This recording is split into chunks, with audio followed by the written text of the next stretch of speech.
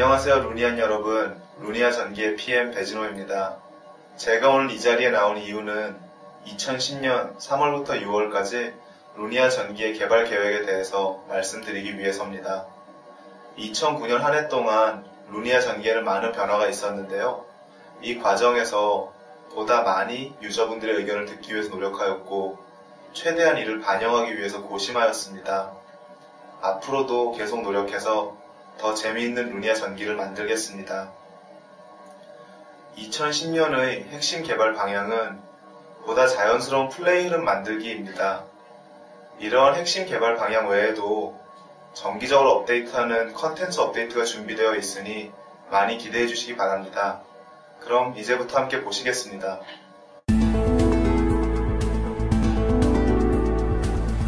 자연스러운 흐름을 다듬는 그 첫 번째는 바로 게임 플레이의 가장 중요한 흐름, 즉 레벨 balancing에 대한 것입니다.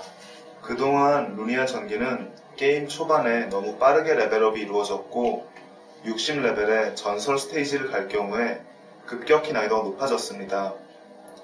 이로 인해 스테이지 플레이가 힘들어지고 반복되는 스테이지 플레이로 인해 다소 지루함을 느끼는 문제가 있었습니다. 즉, 레벨업이 너무 빠른 것과 난이도가 급격히 어려워지는 이 두 가지 문제를 해결하기 위해 현재 레벨 balancing에 수정을 가하고 있습니다. 전기와 비슷하지만 난이도만 급격히 올라간 전설 스테이지, 그리고 계속 새로운 스테이지가 없어서 65레벨부터 70레벨까지 스테이지를 반복해야 하는 부분을 대체할 수 있는 에피소드 7을 현재 제작 중에 있습니다. 더 나아가서는 전체적인 레벨 balancing을 할 예정입니다.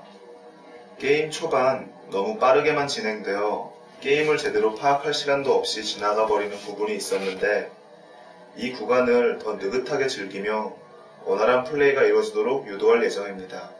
또한 게임 중간중간에 스토리 시네마 영상과 결합된 quest를 손쉽게 받을 수 있는 시네마 퀘스트 시스템을 통해서 단순히 스테이지를 clear하는 것이 아니라 스토리와 스테이지 플레이가 유기적으로 결합된 quest를 즐기실 수 있을 겁니다. 마지막으로 신화에서 느끼는 재미 중 하나인 장비 획득의 즐거움을 신화 이전 단계인 에피소드 1부터 7까지에서 느끼실 수 있도록 할 것입니다.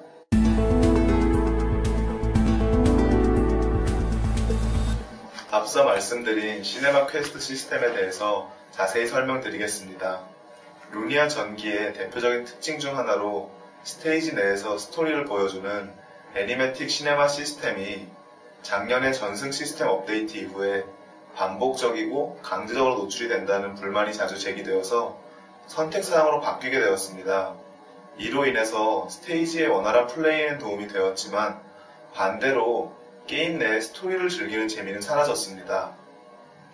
이를 보완하기 위해서 퀘스트와 시네마 플래시를 결합하여 스테이지와 스토리가 유기적으로 연결되어 있는 퀘스트를 만들고자 합니다.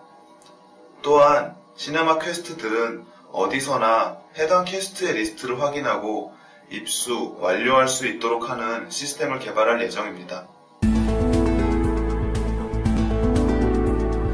다음으로는 장비 획득에 따라 보상이 더욱 풍부해지는 부분에 대해 말씀드리겠습니다.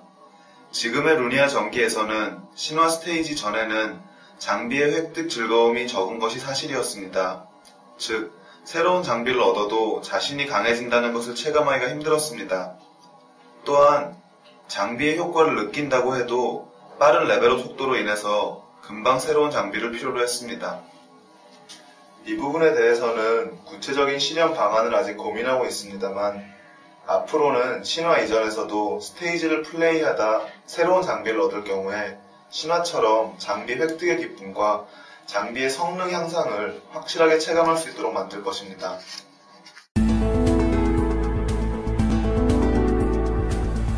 다음으로는 강해진 부활 시스템에 대한 이야기입니다. 게임에서 부활을 하자마자 다시 죽는 경우가 많이 발생해서 부활을 하고 싶어도 게임 상황을 보면서 부활을 못하고 있는 경우가 종종 있었습니다. 이런 불편을 없애기 위해서 앞으로는 부활에서 일어날 때 몬스터를 튕겨내고 일정 시간 동안 무적이 되는 효과를 넣고자 합니다.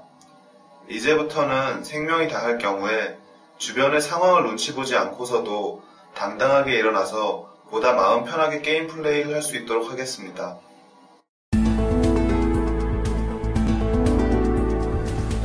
3월에는 새로운 캐릭터가 등장합니다. 아르타라고 불리고 있는 이번 신규 캐릭터는 기공사라는 직업을 가진 캐릭터로 기존 루니아 전기에는 없던 생산이라는 개념을 가진 캐릭터가 될 것입니다. 또한 아르타는 스스로 만들어내는 여러 가지 기계 장치를 사용해서 공격을 하게 됩니다.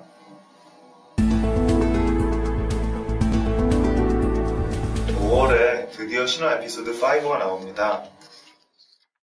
아직 어떤 형태가 될지 확실히 정해진 것은 없지만 다시 한번 새롭고 재미난 컨텐츠로 유저분들을 만족시켜 드리겠습니다. 6월에는 새로운 캐릭터가 나올 예정입니다. 아직 어떤 클래스인지 확정된 것은 없지만 이번에도 유저들에게 사랑받을 만한 멋진 캐릭터를 만들도록 하겠습니다.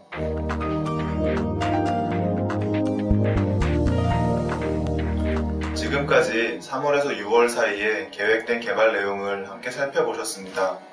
이 중에서 저희가 가장 신경을 쓰고 있는 부분은 1레벨에서 70레벨, 즉 신화 입성 이전에 자연스러운 플레이 흐름을 만드는 부분입니다. 이러한 자연스러운 플레이 흐름을 만들기 위해서 해결해야 될 문제는 다음 세 가지입니다. 현재 너무 빠른 레벨업으로 인해서 오히려 게임의 재미가 반감되는 문제, 갑자기 난이도가 상승하는 전설 스테이지의 벽, 65레벨에서 70레벨 사이에 즐길 수 있는 컨텐츠가 없는 문제, 이러한 문제들을 개선하기 위해서 에피소드 7을 새롭게 제작하고 스테이지 스토리와 유기적으로 연계되는 시네마 퀘스트 시스템을 넣는 등의 해결책을 계획하고 있습니다. 물론 이 과정에서 기존의 에피소드 1에서 6까지의 플레이가 조금 변할 수도 있습니다. 이 부분에 대해서는 저희도 루니아 전기가 가지고 있는 재미를 유지하면서 개발하기 위해서 고심하고 있습니다. 또한 설문조사 등을 통해서 유저분들의 의견을 최대한 수렴할 것입니다. 마지막으로 PVP 개선에 대해서 궁금해하는 유저분들이 계실 텐데요. PVP 개선에 대해서는 2010년 하반기 개발 계획을 기대해 주시기 바랍니다. 감사합니다.